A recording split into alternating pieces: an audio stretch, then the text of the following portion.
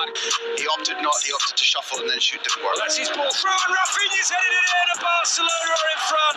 Mamardashvili beaten, and it's his fifth goal of the season. He was prolific for Leeds in the Premier League. Slow start in terms of goals. Barca troubles from Montu there, and back in to Gavi. Lewandowski on the turn, it takes deflection. Is it back to Jordi Alba? It's Busquets, lovely ball over the top there. He tries to play it across again for Ferran.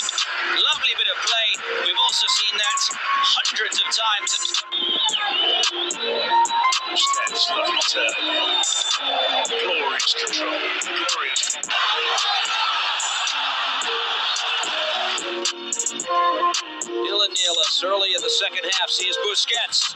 For Real Madrid, and as you know, he's a very good Busquets.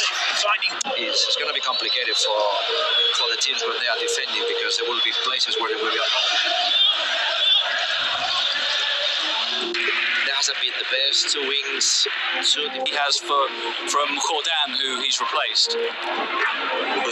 For Busquets, first time, beautiful. Jordi Alba into the side netting, wonderful move. Alba, I think, claiming that he was fouled as he Shot away, either the ball comes out to Sergi Busquets. He does get the shot away, and Dimitrievski pushes another one wide. system. Oh my God! ball kick out by Ter Stegen, and it's a chance for Vega. It's blocked by Busquets. Barcelona all over.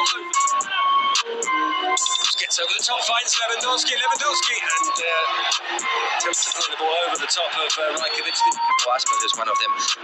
Now here's a chance, and it's Ferran. It's parried by Marchesin and flying in. Gotta move the ball quicker and make this. Those runs are crucial. Barcelona coach starting his first full season in the very good comeback as well. And it's found Busquets! Oh, that is a rarity! Sergio Busquets has scored for Barcelona, and they now lead by two.